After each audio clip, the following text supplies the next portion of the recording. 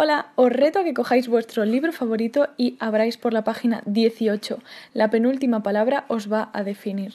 Escogí el número 18 porque es mi número favorito. y la mía es...